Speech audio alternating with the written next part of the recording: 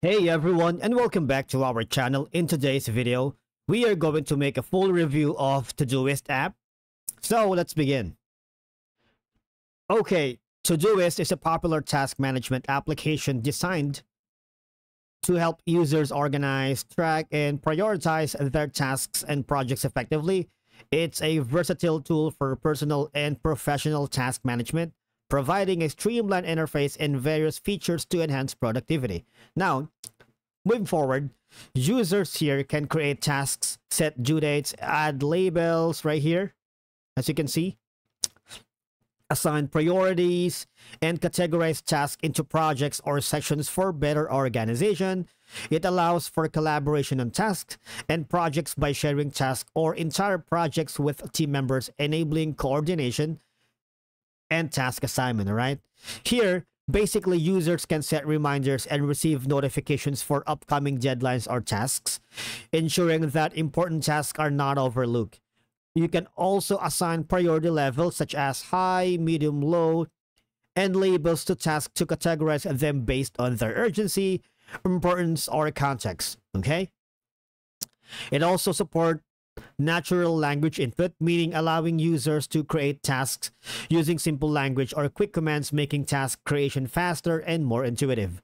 Now, it integrates with various platforms and tools such as Google Calendar, all right? Gmail, Slack, and more, enhancing its functionality and allowing for a more streamlined workflow. It's available on multiple devices and platforms Windows, Mac OS, iOS, Android, web, ensuring synchronization and access to tasks across devices. Now, moving forward, okay, so to stay on top of your life work and team tasks, you can basically start for free. All right, so I started here as a free membership, and then I realized, you know, I, I gotta upgrade. So for the entry level, it's gonna be beginner. So these are the benefits for that. Five personal projects. You can, you know, you have like a flexible list on board layouts, three filter views, one week activity history, integrate email, calendar, and more. Now, I after doing so, I uh, upscaled and begin to use um, Pro. So stay top on all of your tasks and goals at work and at home. That's gonna be four dollars per month. It's not big, you know, but here you can have like 300 personal projects, a calendar layout, 150 filter views. Imagine that compared to three filter views, unlimited activity history, and and the difference maker, which is an AI assistant. It this is very handy, right here. Now, if you want to, if you think the features are limited, why not go business? All right, create a team for free, then six dollars per member monthly. All right, now here, everything in Pro plus a shared team workspace, 500 team projects, unlimited team members and guests, and unlimited project folders, team roles, and permissions. You can have a centralized team billing. All right. Now, if you want to compare plans, these are what you're going to get. Essentials, you know, beginner, pro, and business right here. There's a lot of them, right? You can have a task views, but basically if you're not sure if it's not it's if it's for you you're gonna use uh todoist for free to test waters all right? They also have uh, the advance right here. Okay so for new users the range of features and functionalities might initially feel overwhelming or complex requiring some time to adapt and learn how to maximize its potential.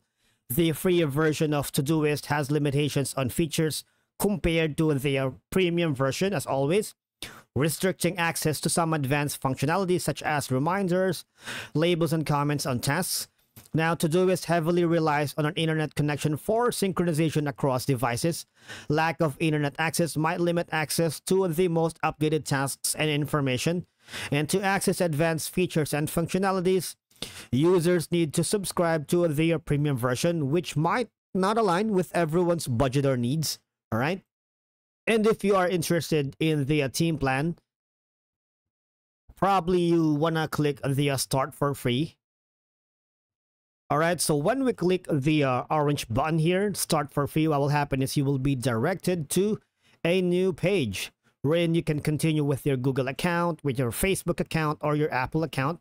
Just sign up, enter your email address, and create a unique and strong password. And once you have successfully created your account, you know, on every device or team touches, you would have a real-time sync across 10 plus platforms, and everyone will have the most up-to-date information as always in your Apple Watch, in your, you know, mobile device, in your iPad or tablet.